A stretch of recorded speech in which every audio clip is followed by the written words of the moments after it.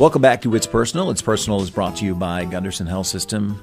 I'm Chris Stauffer. Dr. Kurt Oettel is joining us again to talk about vaping this time. We just uh, wrapped up talking a little bit about lung cancer, but this seems like it ties right in because I think there's a lot of fear about what we're going to learn about vaping five, ten years from now. Um, vaping still relatively new to our lexicon. Um, but something that we're already seeing damage from. Can you talk a little bit about vaping and yeah. and um, what we're seeing in the healthcare community? Yes. Yeah, so certainly from our standpoint as cancer doctors, you know, we look at smoking as the biggest risk factor for cancer, particularly lung cancer, of which I see a lot of patients. We look at vaping as sort of the next smoking risk factor. Um, we look at vaping as probably a gateway drug.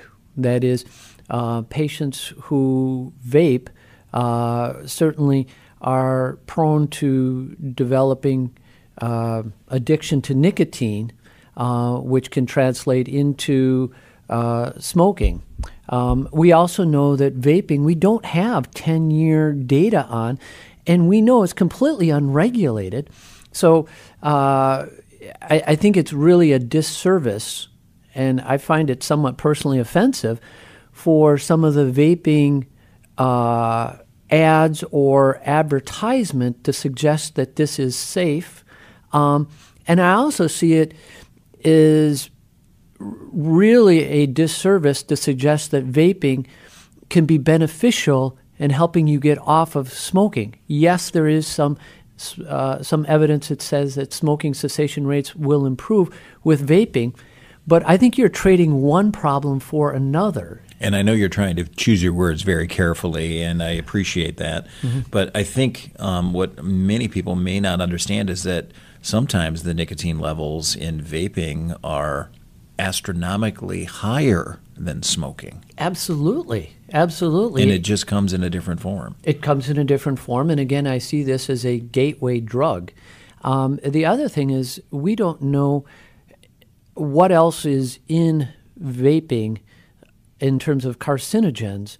And are we going to see a rise in cancer incidence in a decade from now because of the vaping now. And, and I think that would that would follow sort of what we see in, in tobacco products. I'm sure you're um, certainly attuned to what's happening in um, the circles of oncology and mm-hmm. in the circles of the medical community. Mm-hmm. What are they saying about vaping? What are, uh, what are the journals telling you about vaping? Well, uh, the va- uh, they're telling us two things. One is um, vaping is not safe. In, in, the acute side effects we've seen all over the news right now, uh, we've had 40 deaths related to vaping, more than 2,000 vaping related injuries uh, of lung injuries, and I suspect that those numbers are only going to climb, despite the fact that they might have a causative effect. But I think that's just the tip of the iceberg. So we see that sort of immediate. Uh, uh, problem, but we also see the complete unregulation of this industry and the additive probable carcinogens in vaping products that we have yet to identify. Now, I understand from um, reading about some of the deaths, you mentioned that there were over 40 uh, people nationally that mm-hmm. have passed away due to vaping, many of them teens. Mm-hmm. Um, that many of the teens are putting other things in the the to vape, mm-hmm. um, and it's some of that that is causing some of the problem. Mm-hmm. What else are we learning about what teens are doing with this? And I don't want to just pick on the teens uh, mm-hmm. because it is not just teenagers who are mm-hmm. vaping now, mm-hmm. but what what uh, what are they doing? We don't know, and it's it's completely unregulated, mm-hmm. which is one of the problems. Is that um, I think, you know, in this case, it might have been, uh, I believe it was vitamin E acetate mm-hmm. that mm-hmm. we can look at, say, that has a commonality. But I think with time, we're just going to see more of this as this is a completely unregulated industry. let's talk about your. Let's throw the crystal ball question at you. What What do you think is going to happen five and ten years from now? What are we going to learn about vaping? My concern is in five and ten years from now, this is a gateway drug that we will start to see increases in smoking rates for people who change from vaping to cigarettes. We may see vaping in and of itself be every bit the risk factor for cancers that we see from tobacco uh, uh, uh, related products.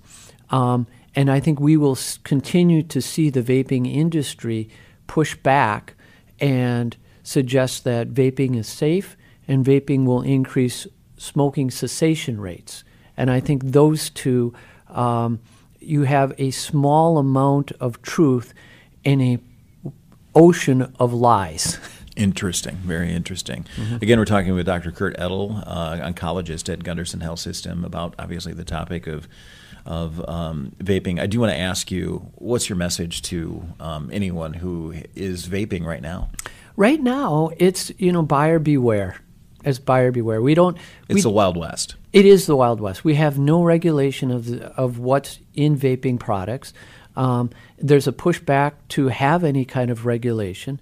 Um, I think, particularly where it's most troubling, is in the young adolescent, uh, teen, um, you know, early 20 population, where it's just perceived as being completely safe.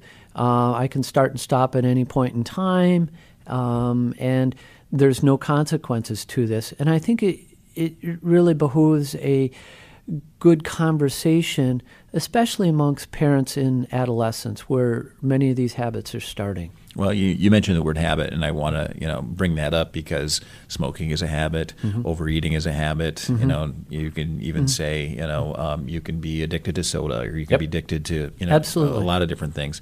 This seems like it's pretty high on the list when it comes to addictive materials, especially when you're talking about nicotine. I mean, nicotine can be more addictive than cocaine. Mm, interesting. Yeah. Yeah.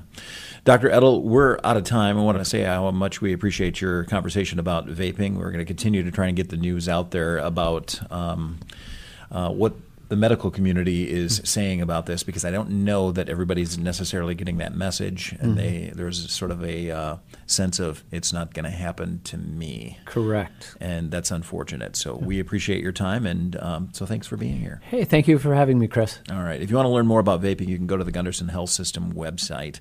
Um, there have been different um, events that have also been uh, popping up about um, getting the word out about about vaping, and you can certainly look for those on the Gundersen Health System website. That's gundersenhealth.org. That's going to do it for this edition of It's Personal. It's Personal is brought to you by Gundersen Health System. I'm Chris. Thanks for joining us.